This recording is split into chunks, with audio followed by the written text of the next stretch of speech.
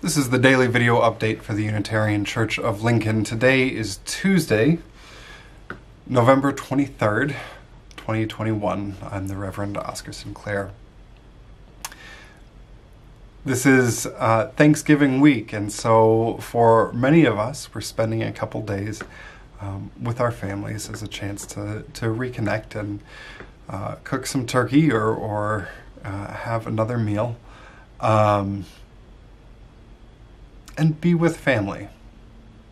And we know for many of us that being with family is not always a simple proposition, that, that family dynamics around the holidays uh, can get complicated quickly. So, um, by way of a Thanksgiving offering, I want to share these, these questions um, from a colleague of mine named Jake Morrill.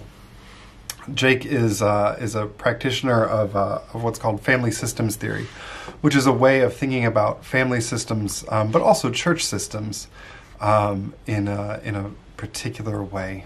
Um, but he uh, he offers up these five questions as a way to to help prepare and help uh, process um, all the the family dynamics that come with this holiday. So the first question is what's your assigned or scripted role to play at Thanksgiving? Some people predictably end up as martyrs in the kitchens, while others end up sacked out on the couch. This year, in an effort to show up with thoughtfulness and less automatic anxiety, what could you do differently? The second question Who is someone you'll share Thanksgiving with from whom you tend to keep your distance? What are three questions you could ask that person that you are genuinely curious about? A third question Whose happiness do you tend to manage? What could you do to relate to that person as more capable of handling things for themselves?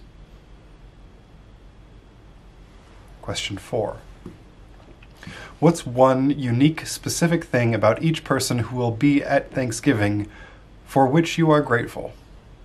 See if you can come up with at least one thing for each different person. And the fifth and last question if Thanksgiving were an invitation to grow up just a little bit more in the long, lifelong effort to be a mature, free, flexible, and principled person, what would be one goal for yourself this Thanksgiving?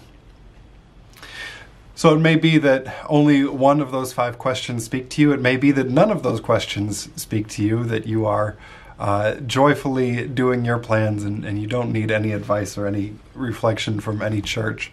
Um, but on the off chance um, that they spark something for you, I hope I hope your answers mean something in your life and that you have a wonderful, wonderful week.